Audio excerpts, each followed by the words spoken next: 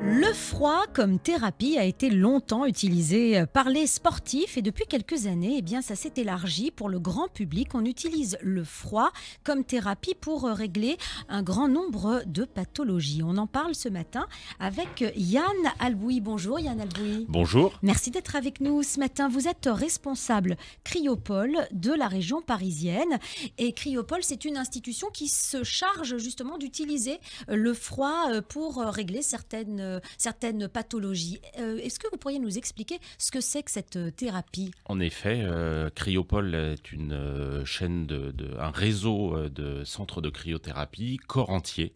je précise bien corps entier, puisque en fait notre technique consiste à mettre les gens dans deux sas principalement. Nous utilisons des machines double chambre, une première chambre à moins 60 degrés qui est un sas d'adaptation, et ensuite les gens passent dans le sas thérapeutique à moins 110 degrés.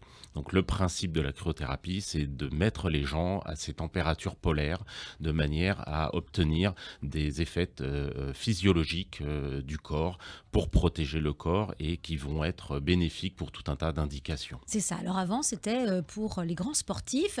en général, ça leur enlevait la, douleur, c'est ça, lorsqu'il y avait un, petit accident, par exemple? En effet, la, cryothérapie a été amenée par l'INSEP, c'était une des premières machines en France. Euh, les sportifs l'utilisent euh, beaucoup euh, pour la récupération sportive, puisqu'on arrive à récupérer mieux et plus rapidement. Et également, on arrive à faire dormir les sportifs, puisque quand ils sont en surmenage sportif, en, phase d'entraînement ou, de préparation, ils ont un peu de mal à dormir avec l'adrénaline. Et la cryothérapie leur permet de dormir. Et la meilleure des récupérations est quand même le sommeil. Donc, mhm. on a une double récupération, je dirais, la récupération grâce à la cryothérapie euh, euh, des toxines et le sommeil euh, qu'ils arrivent à retrouver. Alors quand on entend cette, cette, technique, ça fait un peu peur, je vous le cache pas. Ce choc thermique qu'on fait vivre au corps, ça paraît un peu violent. Est-ce que vous faites ça sous surveillance médicale? Alors oui, on, utilise, nous, nous n'avons que des professionnels de santé dans nos centres. D'ailleurs, je conseille à tous les gens qui veulent faire de la cryothérapie de bien se renseigner sur le centre dans lequel ils vont aller euh, pour qu'il y ait un, professionnel de santé. Euh, avant chaque euh, première séance, il y a un bilan avec des, un questionnaire médical et une prise de tension et de fréquence cardiaque.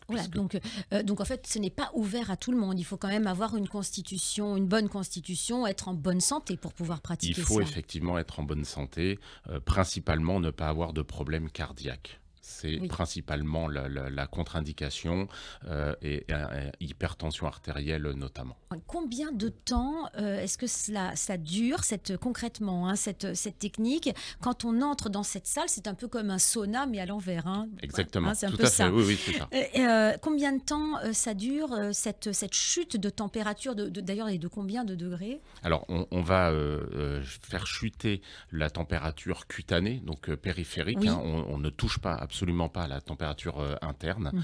Euh, et euh, en fait, on va laisser les gens 30 secondes dans le premier sas, à moins 60 degrés pour l'adaptation. Et ensuite, on va les amener sur le choc thermique véritable dans la chambre thérapeutique pendant entre 2 et 3 minutes en fonction du métabolisme des gens.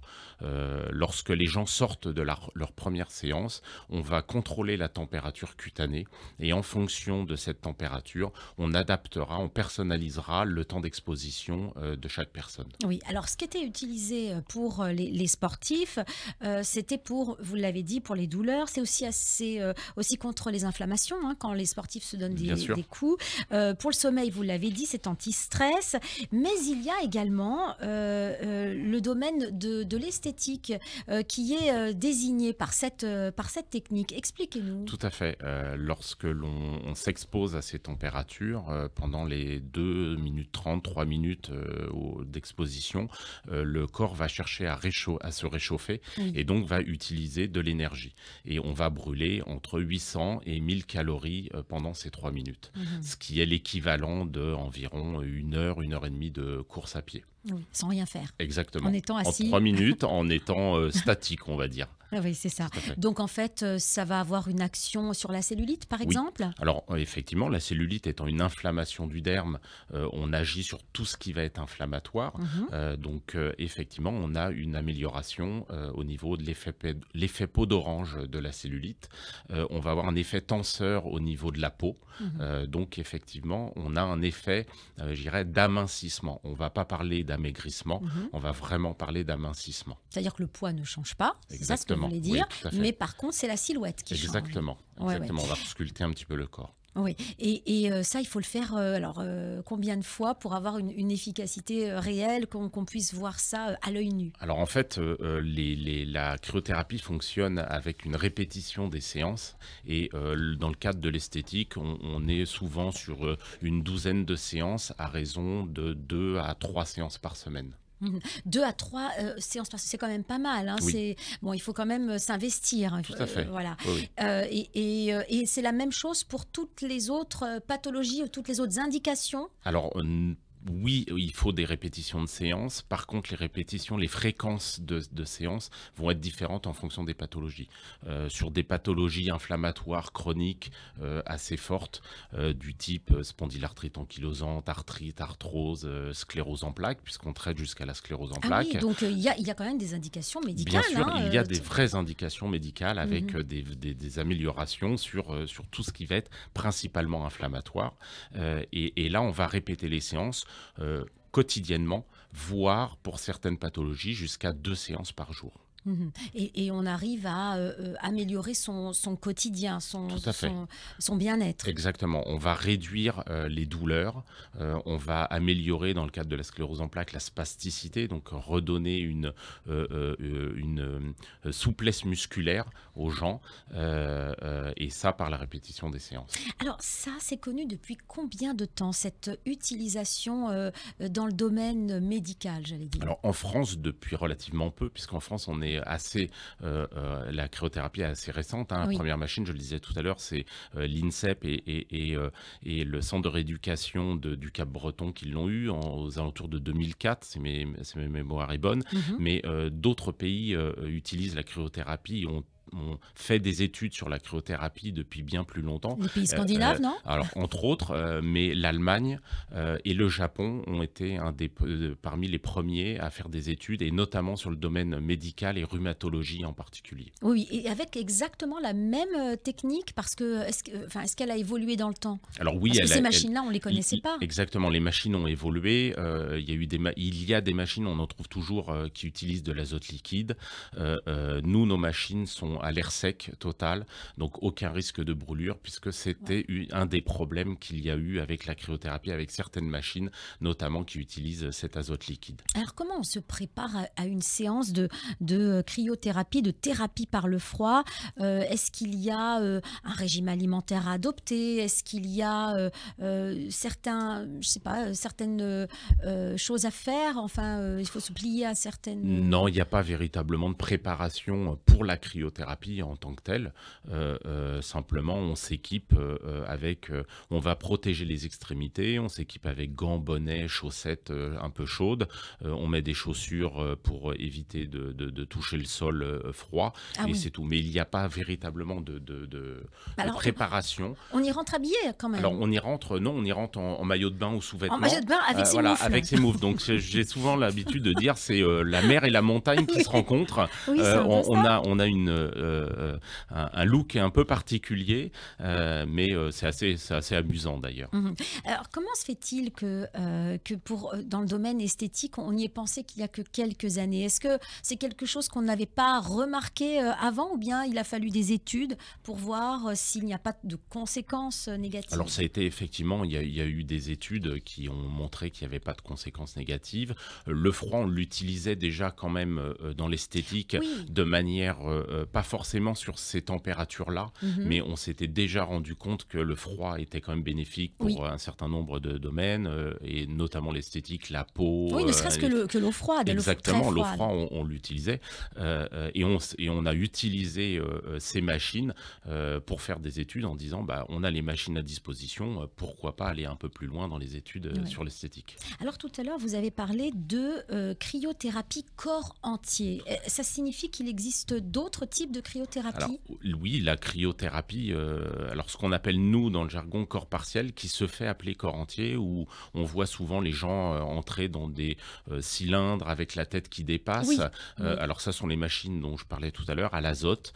et là, nous, on appelle ça corps partiel, puisque l'hypothalamus n'est pas, n'est pas au froid, et c'est une des zones régulateurs de, de la température du corps. Et il est important que cette zone soit exposée au froid. Alors qu'est-ce que ça change quand c'est en corps entier et quand c'est euh, une partie du corps uniquement qui, qui, sont, qui est soumis à la, les, les, effets physiologiques sont moins importants quand on est en partiel plutôt qu'en entier, puisque justement la zone hypothalamus qui euh, produit euh, est une zone productrice des hormones, ne va pas jouer son rôle totalement elle va le faire, mais beaucoup moins de manière beaucoup moins importante que euh, lorsqu'on est euh, sur un corps entier euh, et que cette zone est, soumise au froid. Est-ce que vous voulez dire par là qu'il y a aussi l'humeur qui change lorsqu'on fait ce, ce type de, qu'on pratique ce type de, thérapie? Est-ce que ça peut changer aussi le moral? Ça peut remonter, c'est vrai? Tout à fait, oui, oui. On, traite Est-ce qu'il y a des études là-dessus ou bien c'est votre observation? Il y a eu des études, il y a des études, il y a d'autres études en cours puisqu'on a, euh, nous, un, psychiatre qui euh, souhaite faire une étude euh, sur le, stress et la dépression traitée par cryothérapie. donc, nous sommes en, train de, monter cette étude avec un psychiatre, mais effectivement, on sait par la production d'endorphines, notamment, que on va plutôt apaiser les gens et avoir un effet anti-stress et anti-anxiété. Mmh. Aujourd'hui, ça n'est ouvert qu'aux adultes, j'imagine. Oui, tout à fait. Et dans les autres pays, à votre connaissance, est-ce que ceux qui ont un, recul hein, depuis plusieurs années avant, avant la France, est-ce qu'il y a une pratique euh, élargie à la population? Est-ce que c'est quelque chose qui est rentré vraiment euh, dans, j'allais dire, dans, dans, les mœurs Alors euh, oui, dans certains pays, notamment les Pays-Bas, l'Allemagne, les pays nordiques utilisent beaucoup la cryothérapie. C'est-à-dire le choc thermique. Exactement. Ouais. Et, euh, et, c'est ouvert, vous pensez, euh, dans, dans ces pays-là, à tout le monde, euh, même aux plus jeunes? Alors, c'est ouvert à tout le monde pas aux plus jeunes, pas encore, pas encore. Et, en dessous de 16 ans, à ma connaissance, on ne pratique pas la cryothérapie dans aucun pays. Quand on, choisit de, de, de, passer à l'acte, la surveillance médicale se fait au début, elle ou elle bien elle se fait continuellement tout au long de, la, de la pratique, Alors, Elle, est chez nous, elle est, en elle est permanente. C'est-à-dire qu'il y a quelqu'un qui vous suit du début jusqu'à la fin dans vos instituts, par exemple, il y a des médecins qui sont là pour. Il y a, des, on a des professionnels effectivement de santé, euh, euh, infirmières. Est-ce qu'on peut venir chez vous euh, sans avoir euh, euh, eu l'avis d'un médecin au, préalable et vous vous chargez de faire rencontrer les médecins avec, avec les, personnes qui viennent ou bien, voilà, ou bien il faut absolument avoir vu au, préalable un médecin par notre propre... Non, s'il n'y a pas de contre-indication majeure et notamment de problèmes cardiaques, pas besoin d'avoir de, une, une, indication médicale. on a notre bilan de santé, on fait nos prises de tension artérielle euh, on, a nos professionnels de santé à l'intérieur de nos centres. Merci Yann Albouy d'avoir été avec nous euh, pour nous parler euh, de cette technique de thérapie par le froid. On voit que c'est très largement développé et que cela peut être indiqué pour de nombreuses pathologies. Alors vous, vous êtes sur Paris, un Cryopole, région parisienne, et on peut vous retrouver, j'imagine, sur Internet Oui, sur notre site internet euh, cryopole.fr et on a deux centres en région parisienne, ici les Moulineaux et euh, le Port Marly. Merci beaucoup et à bientôt. Avec plaisir, Bonne à journée bientôt. à vous. Au, revoir.